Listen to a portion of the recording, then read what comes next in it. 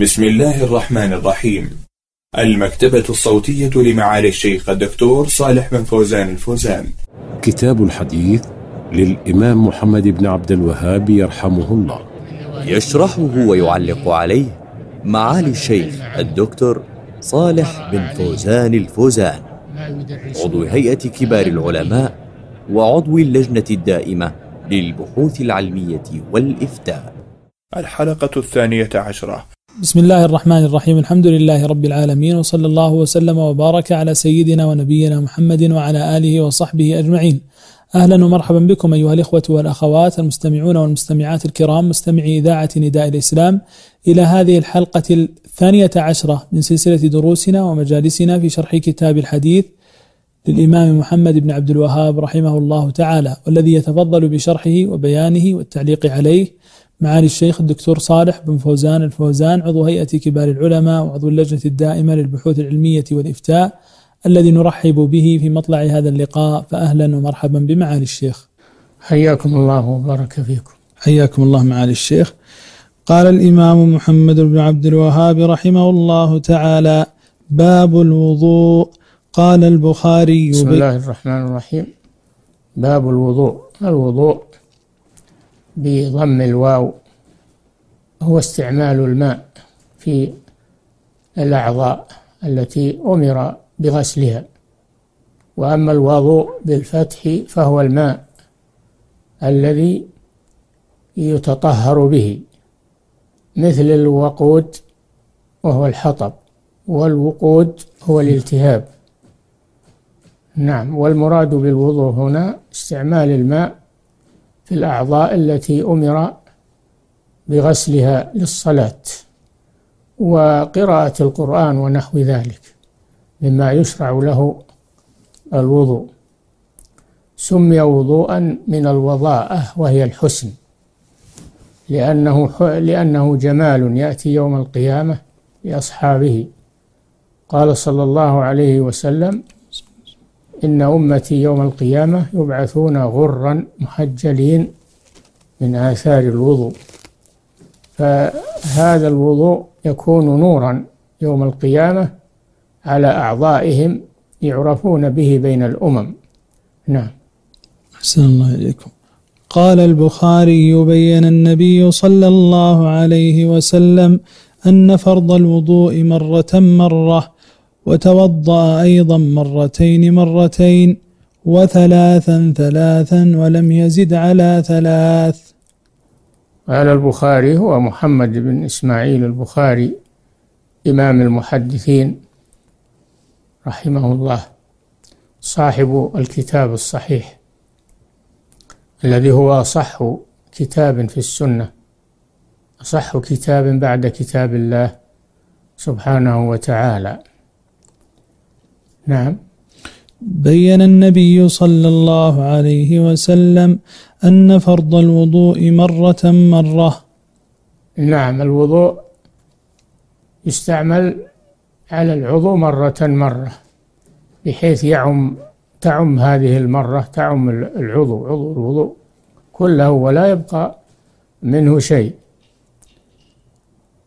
هذا الفرض والذي لا بد منه. وإذا زاد عن مرة إلى مرتين فهذا سنة زيادة على المرة سنة مرة مرتين ثلاث وآخر الزيادة ثلاث. وما زاد عنها فهو بدعة. ما زاد على الثلاث في الوضوء فهو بدعة. فالمرة واجب مرتين والثلاث سنة والزيادة على الثلاث بدعة محرمة. نعم.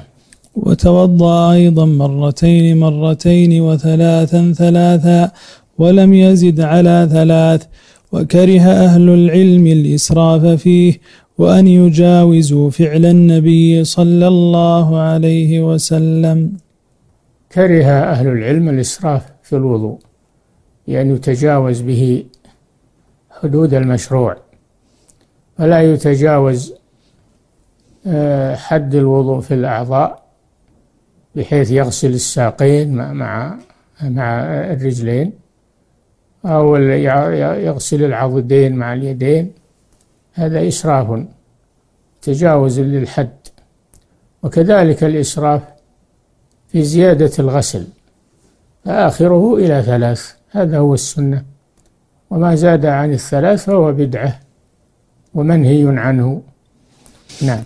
وعن عثمان أنه دعا بإناء من ماء فأفرغ على كفيه ثلاث مرات فغسلهما ثم أدخل يمينه في الإناء فمضمض واستنثر ثم غسل وجهه ثلاثا ويديه إلى المرفقين ثلاث مرار ثم مسح رأسه ثم غسل رجليه ثلاث مرار إلى الكعبين ثم قال رأيت رسول الله صلى الله عليه وسلم توضأ نحو وضوئي هذا ثم قال من توضأ نحو وضوئي هذا؟ ثم صلى ركعتين لا يحدث فيهما نفسه غفر الله له ما تقدم من ذنبه. نعم هذا عثمان بن عفان رضي الله عنه ثالث الخلفاء الراشدين. توضأ ليري الناس وضوء رسول الله صلى الله عليه وسلم. ففي هذا وجوب تعليم السنة وفي الوضوء وغيره.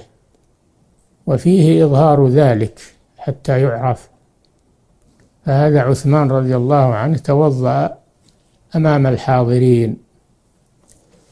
غسل كفيه ثلاثا ففيه استحباب غسل الكفين ثلاثا قبل الوضوء. وأما وهذا لغير القائم من نوم الليل. أما القائم من نوم الليل فإنه يجب عليه أن يغسل كفيه ثلاثا. قوله صلى الله عليه وسلم إذا استيقظ أحدكم فلا يغمس يده في الإناء حتى يغسلها ثلاثا. فإن أحدكم لا يدري أين باتت يده. وفيه استحباب تثليث في غسلات الوضوء ثلاثا ثلاثا ولا يزيد عليها وإن اقتصر على واحدة فهذا فهذا هو الواجب. وإن زاد إلى اثنتين أو ثلاث فهذا السنة وإن زاد عن الثلاث فهذا بدعة ولا يجوز. كذلك لا يجوز مجاوزة الحد الذي الواجب غسله في العضو. بل يجب الاقتصار على على الحد في الوضوء. وقوله إلى المرفقين يعني مع المرفقين لأن إلى تأتي بمعنى مع لأن النبي صلى الله عليه وسلم لما توضأ وغسل يديه أدار الماء على مرفقيه. وكذلك قوله تعالى وأرجلكم إلى الكعبين يعني مع الكعبين لأن إلى هنا بمعنى مع. فلأن لأن وضوء الرسول صلى الله عليه وسلم فيه غسل الكعبين مع الرجلين. نعم. ثم قال رأيت رسول الله صلى الله عليه وسلم توضأ نحو وضوئي هذا ثم قال من توضأ نحو وضوئي هذا ثم صلى ركعتين لا يحدث فيهما نفسه غفر له ما تقدم من ذنبه. نعم فيه أن الصحابة رضي الله عنهم يروون سنة رسول الله صلى الله عليه وسلم في الوضوء وغيره ويظهرون هذا للناس فهذا عثمان توضأ آه، والناس ينظرون إليه ليريهم سنة الرسول صلى الله عليه وسلم فهذا من التعليم بالفعل وهو أبلغ من التعليم بالقول. بالقول. فهو وصف وضوء الرسول صلى الله عليه وسلم بفعله ثم ذكر فضل هذا الوضوء عن رسول الله صلى الله عليه وسلم. فقد توضأ صلى الله عليه وسلم على هذه الصفة التي رواها عثمان رضي الله عنه. وقال صلى الله عليه وسلم من توضأ نحو وضوء هذا ففيه العمل بسنة الرسول صلى الله عليه وسلم والاقتداء به. ومن توضأ نحو وضوء هذا ثم صلى ركعتين. هذه الركعتان تسميان سنة الوضوء. تسميان سنة الوضوء. فيستحب لمن توضأ أن يصلي ركعتين بوضوئه. هذه سنة الوضوء. من توضأ نحو وضوء هذا. لاحظ نحو وضوء هذا. لأنه يتقيد بالصفة الواردة عن الرسول صلى الله عليه وسلم. من توضأ نحو وضوء هذا ثم صلى ركعتين لا يحدث فيهما نفسه يعني أقبل على الله جل وعلا وترك الهواجس في أمور الدنيا والأمور التي لا تتعلق بشأن الصلاة. فرغ قلبه لله عز وجل في صلاته. فإنه يحوز على هذه الفضيلة. لا يحدث فيهما نفسه. نفسه. نعم. غفر له ما تقدم. غفر له هذه الفضيلة الحاصلة. غفر له أي غفر الله له ما تقدم من ذنبه. فهذا فيه أن الوضوء يكفر الله به أن الوضوء المتمشي على سنة الرسول صلى الله عليه وسلم كفر الله به ما مضى من الذنوب الصغائر. من الذنوب الصغائر فإنها تكفر بمكفرات ومنها الوضوء على الصفة آه، المشروعة. يكفر فدل على أن الوضوء عبادة. أن الوضوء عبادة. وأن له فضل فضلا من من الله سبحانه وتعالى. وهذا الفضل أن الله يكفر به ما تقدم من ذنبه. والتكفير إنما يكون للصغائر. وأما الكبائر فلا بد لها من التوبة. نعم.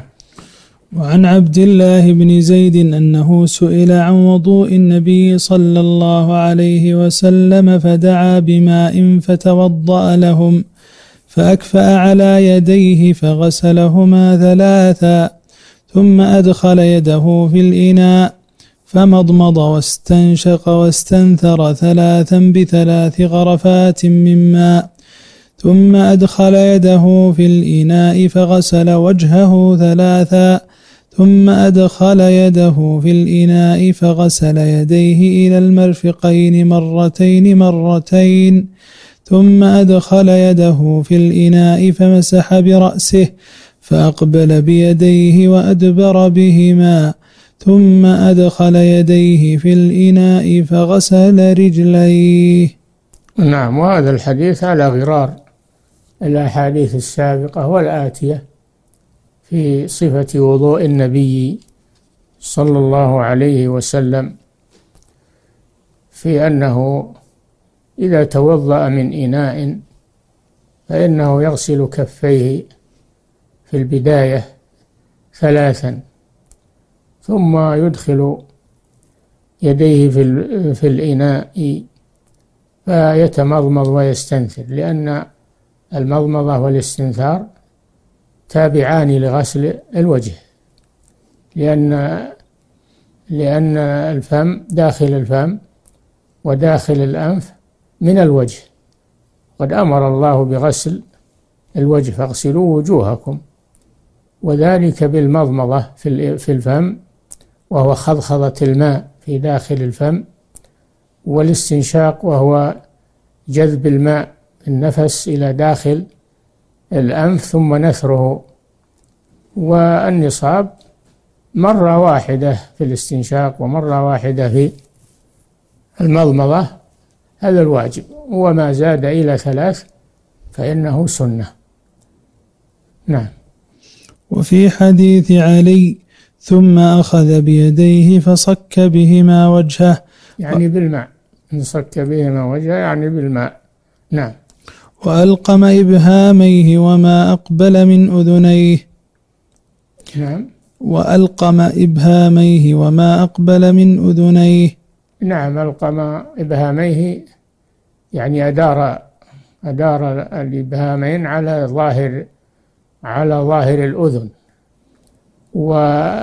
ووضع السبابة مبلولة بالماء في داخل الأذن. فيكون مسح الأذن ظاهرا وباطنا. ودل هذا على أن الأذنين من الرأس يكفي فيهما المسح ظاهرا وباطنا. نعم. قال ثم عاد في مثل ذلك ثلاثا. يعني ما يعني يعني أنه مسح أذنيه ظاهرا وباطنا ثلاثا. نعم. ثم أخذ كفا من ماء بيده اليمنى فأفرغها على ناصيته. نعم أما مسح الرأس فإنه يضع يديه مبلولتين بالماء على مقدم رأسه ثم يمرهما إلى قفاه ثم يردهما إلى المكان الذي بدأ منه. فمسح الرأس يكون مرة واحدة ولا يكرره. ولا يغسل رأسه يكتفي بالمسح. وامس قال الله جل وعلا وامسحوا برؤوسكم. نعم. ثم أرسلها تسيل على وجهه. نعم. ثم أرسلها تسيل على وجهه.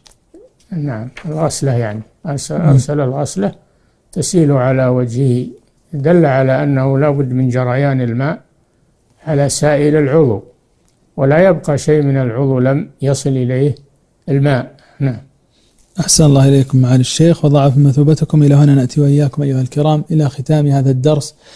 شاكرين ومقدرين لمعالي الشيخ الدكتور صالح بن فوزان. الفوزان هذا الشرح والتعليق والبيان. نلتقي في الدرس القادم إن شاء الله. والسلام